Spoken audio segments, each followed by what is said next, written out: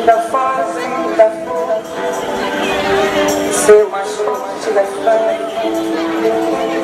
e acreditam nas flores vencendo